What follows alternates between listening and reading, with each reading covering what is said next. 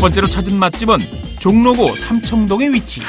삼청동은 소박하고 아기자기해서 구경할 데가 참 많잖아요. 근데 이 근처에 그 만두 전골 맛집이 있어요. 아, 혹시 저 집인가요? 맞아요. 네. 그 만두집이 되게 풀어서 예쁘다. 끓인 만두 전골하고요. 그리고 돼지고기 완자전이랑 호박전이 들어간 김치 전골이 굉장히 인기래요. 그래서 원하는 맛있겠다. 입맛대로 골라 겨울철에 먹으면 진짜 맛있죠 만두 전골. 삼청동에서 소문난 만두집. 사람들이 일부러 찾아와서 먹는다고 하는데요. 가격도 저렴해 부담 없이 먹기 좋다고 합니다. 많이 나왔는데 여긴 처음이네. 여기 오래됐어요? 23년 이 자리에서만? 어, 그래요? 됐다 그랬죠. 포장 만두 전골과 김치 만두 전골을 주문했는데요. 우열을 가리기 힘들 정도로 둘 다 인기가 많은 메뉴. 직접 하세요. 진짜 다 하시는 거예요? 만두에서도 가져가시고요. 어, 이국식이 된장 그게 아니고 만두가 많아요. 만두 만두가 만두. 그러니까 맛은 국물이랑은 좀 약간 입맛에 맞추셨구나. 새롭게. 어. 된장. 와. 아, 저기 또 저기 유부가 들어갔네요. 아, 유부네요. 시원하네. 시원해요. 음.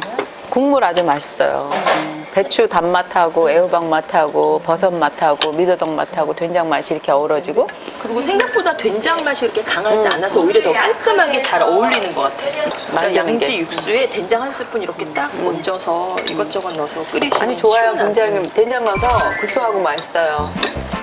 막 얘기하고 있는데 혼자. 요즘에 식당 가면 다 간을 세게 해서 근데 여기는 슴슴하게 해서 저거는 되게 좋았던 것 같아요. 과하지 않은 담백한 국물에 정성껏 빚은 만두가 들어가 있는데요.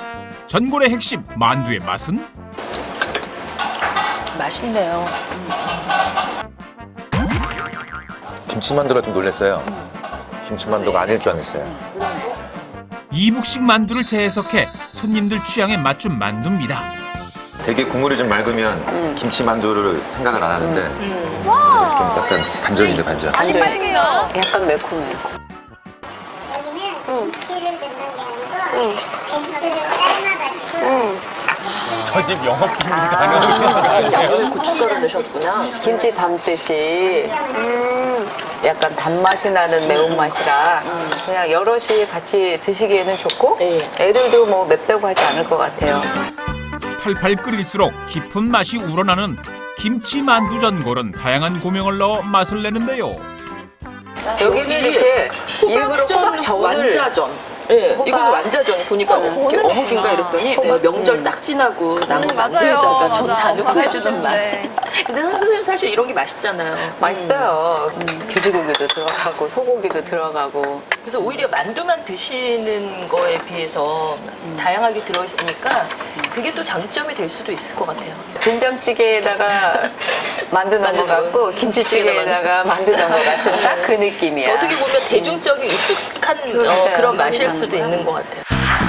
이북식과 현대적인 스타일이 만난 독특한 만두 전골은 자극적이지 않아서 흡족하다는 평입니다.